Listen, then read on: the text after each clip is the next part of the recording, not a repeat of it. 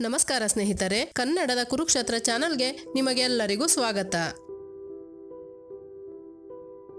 ಸ್ನೇಹಿತರೆ, ನಮ್ಮ ಮನೆಯಲ್ಲಿ ಜರಿ ಕಾಣಿಸಿದರೆ ಅದು ಯಾವುದಕ್ಕೆ ಸಂಕೇತ? ಮನೆಯಲ್ಲಿ ಜರಿ ಕಾಣಿಸಿದರೆ ಶುಭವಾಗುತ್ತದೆಯೇ ಅಥವಾ ಅಶುಭವಾಗುತ್ತದೆಯೇ? ಅಸಲಿಗೆ ಮನೆಯಲ್ಲಿ ಜರಿ ಕಾಣಿಸಬಹುದೇ? ಇದರ ಬಗ್ಗೆ ನಮ್ಮ ಶಾಸ್ತ್ರವು ಏನು ಹೇಳುತ್ತದೆ? ನಮ್ಮ ಶಾಸ್ತ್ರಗಳ ಪ್ರಕಾರ ಮನೆಯಲ್ಲಿ ಜರಿ ಕಾಣಿಸಿದರೆ ಏನು ನಡೆಯುತ್ತದೆ? ಹಾಗೆಯೇ ಕನಸಿನಲ್ಲಿ ಕಾಣಿಸುವಂತಹ ಕೆಲವೊಂದು ವಸ್ತುಗಳು ಮತ್ತು ಕ್ರಿಮಿಕೀಟಗಳ ಬಗ್ಗೆ ಸ್ವಪ್ನಶಾಸ್ತ್ರವು ಏನು ಹೇಳುತ್ತದೆ? ಈ ಪ್ರಕೃತಿ ಸೂಚಿಸುವಂತಹ ಸಂಕೇತಗಳು ಯಾವ ವಿಧವಾಗಿ ಇರುತ್ತವೆ ಎಂಬುದನ್ನು ಈ ದಿನದ ಈ ವಿಡಿಯೋದಲ್ಲಿ ತಿಳಿಯೋಣ. ಆದ್ದರಿಂದ ವಿಡಿಯೋವನ್ನು ಸ್ಕಿಪ್ ಮಾಡದೆ ಕೊನೆವರೆಗೂ ನೋಡಿ, ಒಂದೇ ಒಂದು ಲೈಕ್ ಮಾಡಿ. ಹಾಗೆಯೇ ನೀವೇನಾದರೂ ಮೊಟ್ಟ ಮೊದಲ ಬಾರಿಗೆ ಈ ವಿಡಿಯೋವನ್ನು ನೋಡುತ್ತಿದ್ದರೆ ದಯವಿಟ್ಟು ನಮ್ಮ ಚಾನಲ್ ಅನ್ನು ಸಬ್ಸ್ಕ್ರೈಬ್ ಮಾಡಿಕೊಳ್ಳುವುದರ ಮೂಲಕ ನಮಗೆ ಇನ್ನಷ್ಟು ವಿಡಿಯೋಗಳನ್ನು ಮಾಡಲು ಸಪೋರ್ಟ್ ಮಾಡಿ. ಸ್ನೇಹಿತರೆ ಮನೆಯಲ್ಲಿ ಸಹಜವಾಗಿ ನಮಗೆ ಅನೇಕ ರೀತಿಯ ಕ್ರಿಮಿಕೀಟಗಳು ಕಾಣಿಸುತ್ತಿರುತ್ತವೆ.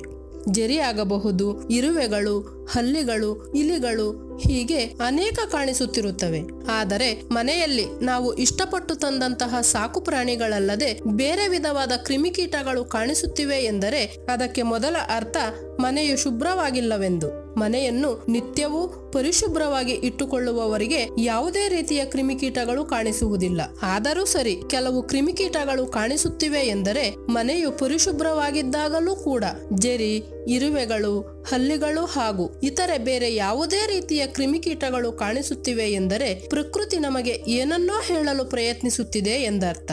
ನಮ್ಮ ಜೀವನದಲ್ಲಿ ಬರುವಂತಹ ಕೆಲವೊಂದು ಮುಖ್ಯವಾದ ವಿಷಯಗಳ ಕುರಿತು ತಿಳಿಯಪಡಿಸುತ್ತದೆ ಎಂದರ್ಥ. ಜರಿಯನ್ನು ಶತಪಾದವೆಂದು ಕೂಡ ಕರೆಯುತ್ತಾರೆ. ಅಂದರೆ ಸಾವಿರ ಪಾದಗಳಿರುತ್ತವೆ ಎಂದರ್ಥ. ಇದಕ್ಕೆ ಕಾಲುಗಳು ಹೆಚ್ಚಿರುತ್ತವೆ. ಆದ್ದರಿಂದಲೇ ಇದನ್ನು ಶತಪದ ಅಥವಾ ಶತಪಾದವೆನ್ನುತ್ತಿರುತ್ತಾರೆ. ಇದು ಯಾವ ಸೀಸನ್ ಅಲ್ಲಾದರೂ ಕಾಣಿಸುತ್ತದೆ. ಅಷ್ಟೇ ಅಲ್ಲದೆ ಇದು ಬಹಳ ವಿಷಪೂರಿತವಾದುದು. ಇದು ಕಚ್ಚಿದರೆ ಮಾತ್ರ ಆ ನೋವನ್ನು ಅನುಭವಿಸುವುದು ಬಹಳ ಕಷ್ಟ. ಮುಖ್ಯವಾಗಿ ಈ ಜರಿ ಎನ್ನುವುದು ಕತ್ತಲೆ ಪ್ರದೇಶಗಳಲ್ಲಿ ಹಾಗೂ ತೇವಾಂಶವಿರುವ ಪ್ರದೇಶಗಳಲ್ಲಿ ವಾಸಿಸುವುದಕ್ಕೆ ಮತ್ತು ಕೊಳೆಯಾಗಿರುವ ಸ್ಥಳಗಳಲ್ಲಿ ವಾಸಿಸುವುದಕ್ಕೆ ಹೆಚ್ಚಾಗಿ ಇಷ್ಟಪಡುತ್ತದೆ. ಆದ್ದರಿಂದ ಮನೆಯಲ್ಲಿ ಅದಕ್ಕೆ ಇಷ್ಟವಾದ ಸ್ಥಳ ಯಾವುದೆಂದರೆ ಅಡುಗೆ ಮನೆ ಅಥವಾ ಸ್ನಾನದ ಮನೆ. ಹೆಚ್ಚಾಗಿ ನಮಗೆ ಅಡುಗೆ ಮನೆಯಲ್ಲಿಯೇ ಜರಿಗಳು ಕಾಣಿಸುತ್ತಿರುತ್ತವೆ. ನಮ್ಮ ಶಾಸ್ತ್ರಗಳ ಪ್ರಕಾರ ಶುಭ ಮತ್ತು ಅಶುಭ ಸಂಕೇತಗಳಿಗೂ ಕೂಡ ಈ ಜರಿ ಬಹಳ ಮುಖ್ಯವಾದುದು. ಜ್ಯೋತಿಷ ಶಾಸ್ತ್ರದ ಪ್ರಕಾರವಾದರೆ ಶತಪೀಠಕ್ಕೆ ಅಧಿಪತಿ ರಾಹು ಗ್ರಹ. ರಾಹು ಒಂದು ರಹಸ್ಯ ಗ್ರಹ. ಈ ಗ್ರಹವು ಯಾರಿಗಾದರೂ ಸರಿ ಅಷ್ಟಲಕ್ಷ್ಮಿ ಅನುಗ್ರಹವನ್ನು ಕೊಡಬಲ್ಲದು. ಸಹಜವಾಸಕ್ಕೆ ಅನುಕೂಲವಾಗಿರುವ ಮನೆಯಲ್ಲಿ ಶತಪಾದವು ಕಾಣಿಸಿದರೆ ಅದು ಶುಭ ಅಥವಾ ಅಶುಭಕ್ಕೆ ಸಂಕೇತವೆಂದು ಹೇಳುತ್ತಿರುತ್ತಾರೆ. ಒಂದು ವೇಳೆ ಜರಿ ಒಂದು ಕ್ಷಣದಲ್ಲಿಯೇ ನಿಮ್ಮನ್ನು ಹಣವಂತರನ್ನಾಗಿ ಅಥವಾ ಬಡವರನ್ನಾಗಿ ಮಾಡುತ್ತದೆಂದರೆ ನೀವು ನಂಬುತ್ತೀರಾ? ಹೌದು. ಅದು ಖಂಡಿತವಾಗಿಯೂ ಸತ್ಯ. ಕೆಲವು ಸಂದೇಶಗಳನ್ನು ಈ ಜರಿಗಳು ಸೂಚಿಸುತ್ತವೆ. ಆದ್ದರಿಂದ ನಾವು ಧನವಂತರಾಗುತ್ತೀವ ಅಥವಾ ಬಡವರಾಗುತ್ತೀವಾ ಎಂಬುದು ಕೂಡ ಆಧಾರವಾಗಿರುತ್ತದೆ. ಜರಿ ಯಾವಾಗಾದರೂ ಕಾಣಿಸಿದರೆ ಬಹಳ ಮಂದಿ ಅದನ್ನು ಸಾಯಿಸುತ್ತಿರುತ್ತಾರೆ.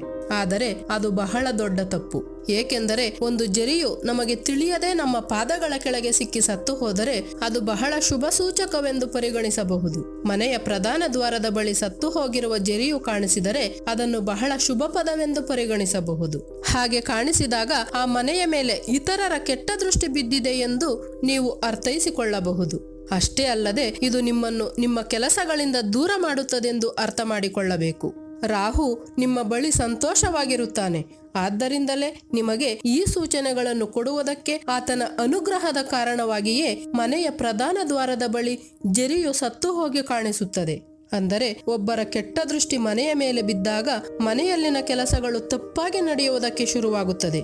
ಇದರಿಂದ ಅನೇಕ ಸಮಸ್ಯೆಗಳು ಮತ್ತು ತೊಂದರೆಗಳು ಮೊದಲಾಗುತ್ತವೆ. ಆದ್ದರಿಂದ ಅವುಗಳಿಂದ ಜಾಗ್ರತೆ ವಹಿಸಿ ಎಂದು ಪ್ರಕೃತಿ ನಮಗೆ ಸೂಚಿಸುತ್ತದೆ. ನಮ್ಮ ಮೇಲೆ ಮತ್ತು ನಮ್ಮ ಕುಟುಂಬದವರ ಮೇಲೆ ಹಾಗೂ ನಾವು ಮಾಡುವ ಕೆಲಸಗಳ ಮೇಲೆ ನೆಗೆಟಿವ್ ಎನರ್ಜಿ ಇದೆ ಎಂದು ತಿಳಿಸುತ್ತದೆ ಈ ಸೂಚನೆ. ಈ ರೀತಿಯಾಗಿ ಯಾರಿಗಾದರೂ ಸೂಚನೆ ಸಿಕ್ಕರೆ ನರಘೋಷ ಮತ್ತು ನರದೃಷ್ಟಿ ತಗುಲದ ಹಾಗೆ ಜಾಗ್ರತೆ ವಹಿಸಬೇಕು. ಹಾಗೆಯೇ ನೀವು ಮಾಡುವಂತಹ ಪ್ರತಿ ಕಾರ್ಯವನ್ನು ಕೂಡ ಜಾಗ್ರತೆಯಿಂದ ಮಾಡಬೇಕು. ಮತ್ತು ಯಾವುದಾದರೂ ಮುಖ್ಯವಾದ ಕೆಲಸದ ಮೇಲೆ ಮತ್ತು ಆರೋಗ್ಯಕ್ಕೆ ಸಂಬಂಧಿಸಿ ಪರಿಹಾರ ಮಾರ್ಗಗಳಿಗೋಸ್ಕರ ಹೊರಗಡೆ ಹೋಗುತ್ತಿದ್ದಾಗ ಈ ಜೆರೆಯು ಕಾಣಿಸಿದರೆ ಅದು ಅಶುಭಕ್ಕೆ ಸಂಕೇತವೆಂದು ತಿಳಿಯಬೇಕು. ಹೋಗುವಂತಹ ಪ್ರಯಾಣವನ್ನು ನಿಲ್ಲಿಸುವುದೇ ಒಳ್ಳೆಯದು. ಇದು ನೀವು ಮಾಡುವಂತಹ ಪ್ರಯಾಣದಲ್ಲಿ ಅನೇಕ ತೊಂದರೆಗಳಾಗುತ್ತವೆ ಎಂದು ಸೂಚಿಸುವ ಸಂಕೇತ. ನೀವು ಹೋಗುತ್ತಿರುವ ಅಥವಾ ತಿಳಿಯಬೇಕೆಂದಿರುವ ಕಾರ್ಯದಲ್ಲಿ ವಿಜಯವು ಲಭಿಸುವುದಿಲ್ಲ ಎಂಬುದರ ಸಂಕೇತ. ಆದ್ದರಿಂದ ಯಾರಾದರೂ ಸರಿ ತಮ್ಮ ಪ್ರಯಾಣವನ್ನು ಮುಂದುವರಿಸಬೇಕಾದರೆ ಈ ಜರಿ ಕಾಣಿಸಿದರೆ ಸ್ವಲ್ಪ ಕಾಲದ ಮಟ್ಟಿಗೆ ನಿಮ್ಮ ಪ್ರಯಾಣವನ್ನು ನಿಲ್ಲಿಸುವುದು ನಿಮಗೆ ಶ್ರೇಯಸ್ಕರ ಎಂದು ನೆನಪಿನಲ್ಲಿಟ್ಟುಕೊಳ್ಳಬೇಕು. ಮನೆಯಿಂದ ಹೊರಗೆ ಹೋಗಬೇಕಾದರೆ ಯಾರಿಗಾದರೂ ಸರಿ ಈ ಜರಿ ಕಾಣಿಸಿದರೆ ಕನಿಷ್ಠ ಪಕ್ಷ ಅರ್ಧ ಗಂಟೆಯಾದರೂ ನಿಮ್ಮ ಪ್ರಯಾಣವನ್ನು ನಿಲ್ಲಿಸಿ. ಇಲ್ಲವಾದರೆ ನಿಮಗೆ ಏನಾದರೂ ತೊಂದರೆಗಳಾಗಬಹುದು. ಅದು ರಸ್ತೆ ಅಪಘಾತಗಳಾಗಬಹುದು ಆರ್ಥಿಕ ನಷ್ಟವಾಗಬಹುದು ಅನಾರೋಗ್ಯ ಸಮಸ್ಯೆಯಾಗಬಹುದು ಮತ್ತು ನಿಮ್ಮನ್ನು ನಿಮಗೆ ಯಾವುದೇ ರೀತಿಯ ಸಂಬಂಧವಿಲ್ಲದ ಇತರರು ತೊಂದರೆಗೀಡು ಮಾಡುವ ಸಮಸ್ಯೆಯಾಗಬಹುದು. ಅಂದುಕೊಳ್ಳದೇ ಇರುವಂತಹ ಅಪಾಯವು ಯಾವುದೋ ಒಂದು ರೂಪದಲ್ಲಿ ನಿಮ್ಮ ಪ್ರಯಾಣದಲ್ಲಿ ಬರಬಹುದು ಎಂದು ಸೂಚಿಸುವ ಸಂಕೇತವೇ ಮನೆಯ ಪ್ರಧಾನ ದ್ವಾರದ ಬಳಿ ಜರಿ ಸತ್ತು ಹೋದಂತೆ ಕಾಣಿಸುವುದು. ಇದನ್ನು ಅರ್ಥೈಸಿಕೊಂಡು ನೀವು ಜಾಗ್ರತೆಯಿಂದ ಇರಬೇಕು ಎಂದು ಹೇಳುತ್ತದೆ ಜ್ಯೋತಿಷ್ಯ ಶಾಸ್ತ್ರ ಸ್ನೇಹಿತರೆ, ಹಾಗೆಯೇ ಈ ಪ್ರಕೃತಿಯು ನಮಗೆ ಅನೇಕ ರೀತಿಯಲ್ಲಿ ನಡೆಯಲಿರುವ ಅಂಶಗಳನ್ನು ತಿಳಿಸುತ್ತಲೇ ಇರುತ್ತದೆ. ಕನಸಿನ ರೂಪದಲ್ಲಿ ಕೂಡ ಭವಿಷ್ಯತ್ತಿನಲ್ಲಿ ನಮಗೆ ಏನು ನಡೆಯುತ್ತದೆ ಎಂದು ತಿಳಿಯಪಡಿಸುತ್ತಿರುತ್ತದೆ. ಮುಖ್ಯವಾಗಿ ರಾತ್ರಿಯ ವೇಳೆ ಬರುವಂತಹ ಕನಸುಗಳು ನಮ್ಮ ಜೀವನದಲ್ಲಿ ನಡೆದಂತಹ ಅಥವಾ ಮುಂದೆ ನಡೆಯಲಿರುವ ಅಂಶಗಳನ್ನು ತಿಳಿಯಪಡಿಸುತ್ತದೆ. ನಾವು ಒಳ್ಳೆಯ ನಿದ್ದೆಯಲ್ಲಿದ್ದಾಗ ಕುದುರೆಯ ಮೇಲೆ ನಾವೇ ಸ್ವತಃ ಸವಾರಿ ಮಾಡುವ ಹಾಗೆ ಕಾಣಿಸಿದರೆ ಅದು ಬಹಳ ಶುಭದಾಯಕವೆನ್ನುತ್ತದೆ ಸ್ವಪ್ನಶಾಸ್ತ್ರ. ನಾವು ಪ್ರಸ್ತುತ ಕೆಲಸ ಮಾಡುತ್ತಿರುವ ರಂಗದಲ್ಲಿ ಮೆರುಗು ನೀಡುವಂತಹ ಫಲಿತಾಂಶಗಳು ಬರುತ್ತವೆಂದು ಇದರ ಅರ್ಥ ವ್ಯಾಪಾರಸ್ಥರಿಗೆ ಅತಿ ಶೀಘ್ರದಲ್ಲಿ ಲಾಭಗಳು ಪ್ರಾಪ್ತಿಯಾಗುತ್ತವೆ ಎಂದರ್ಥ. ಇದೇ ಸಮಯದಲ್ಲಿ ಉದ್ಯೋಗಸ್ಥರಿಗಾದರೆ ಉನ್ನತ ಸ್ಥಾಯಿಯಲ್ಲಿ ಗುರುತಿಸಿಕೊಳ್ಳುತ್ತಾರೆಂದರ್ಥ.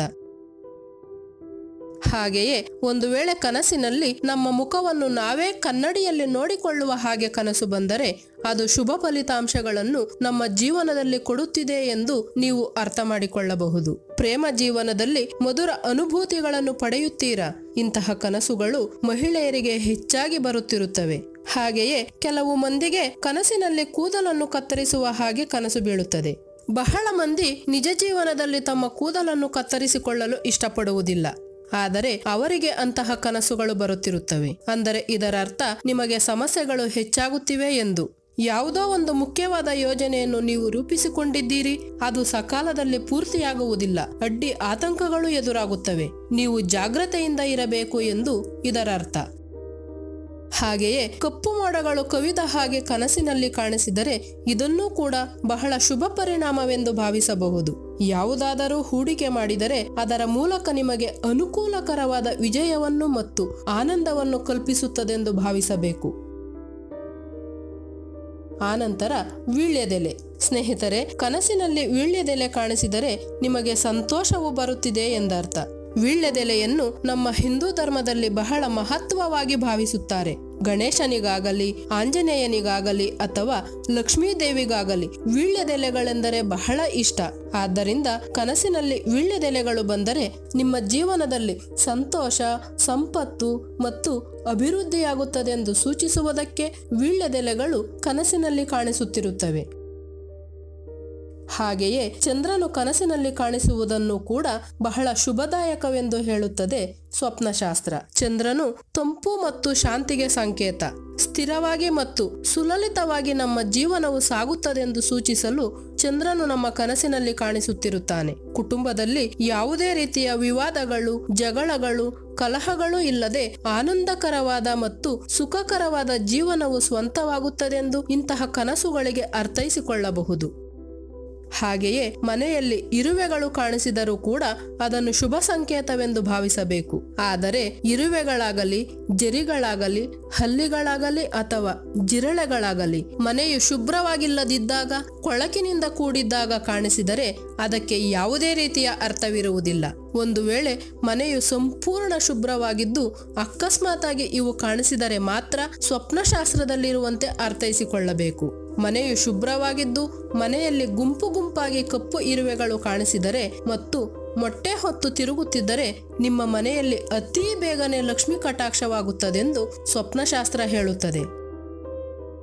ಸ್ನೇಹಿತರೆ, ಯಾರಿಗಾದರೂ ಸರಿ ನಿಮ್ಮ ಮನೆಯಲ್ಲಿ ಜಿರಿ ಕಾಣಿಸಿದರೆ ಅದನ್ನು ಶುಭ ಸಂಕೇತವೆಂದು ಭಾವಿಸಬೇಕು. ಮುಂಬರುವ ಆನಂದವನ್ನು ಮತ್ತು ಸೌಭಾಗ್ಯವನ್ನು ಸೂಚಿಸುತ್ತಾ ಈ ಪ್ರಕೃತಿಯು ನಮಗೆ ಕೊಡುವಂತಹ ಸೂಚನೆಯಾಗಿ ನೀವು ಭಾವಿಸಬೇಕಾಗುತ್ತದೆ. ಆದರೆ ಇದು ನಮಗೆ ಕಾಣಿಸುವುದು ಎಷ್ಟು ಶುಭ ಸೂಚಕವೋ ಇದು ನಮ್ಮ ಜೊತೆಯ ಸಹವಾಸ ಮಾಡಿದರೆ ಮಾತ್ರ ಬಹಳ ಅಪಾಯಕರ. ಇದು ಕಚ್ಚಿದರೆ ಪ್ರಾಣ ಹೋಗುವ ಸಾಧ್ಯತೆಗಳು ಕೂಡ ಇರುತ್ತವೆ. ಆದ್ದರಿಂದ ಈ ಜರಿಗಳ ಬಳಿ ಜಾಗ್ರತೆಯಿಂದಿರಿ. ಒಂದು ವೇಳೆ ನಿಮಗೆ ಕಾಣಿಸಿದರೆ ಮನೆಯಿಂದ ಬಹಳ ದೂರಕ್ಕೆ ಎಸೆದು ಬಿಡಿ. ಆದರೆ ಕೊಲ್ಲುವ ಪ್ರಯತ್ನ ಮಾಡಬೇಡಿ ಎಂದು ಹೇಳುತ್ತದೆ ಸ್ವಪ್ನಶಾಸ್ತ್ರ. ಸ್ನೇಹಿತರೆ, ಇನ್ನಷ್ಟು ಆಸಕ್ತಿಕರ ವಿಡಿಯೋದೊಂದಿಗೆ ಮತ್ತೆ ಭೇಟಿಯಾಗೋಣ. ಈ ವಿಡಿಯೋ ಇಷ್ಟವಾದರೆ ಲೈಕ್ ಮಾಡಿ, ನಿಮ್ಮ ಗೆಳೆಯರಿಗೂ ಶೇರ್ ಮಾಡಿ. ಹಾಗೆಯೇ ನೀವೇನಾದರೂ ಮೊಟ್ಟ ಮೊದಲ ಬಾರಿಗೆ ಈ ವಿಡಿಯೋವನ್ನು ನೋಡುತ್ತಿದ್ದರೆ, ದಯವಿಟ್ಟು ನಮ್ಮ ಚಾನೆಲ್ ಅನ್ನು ಸಬ್ಸ್ಕ್ರೈಬ್ ಮಾಡಿಕೊಳ್ಳುವುದರ ಮೂಲಕ ನಮಗೆ ಇನ್ನಷ್ಟು ವಿಡಿಯೋಗಳನ್ನು ಮಾಡಲು ಸಪೋರ್ಟ್ ಮಾಡಿ. ಧನ್ಯವಾದಗಳು.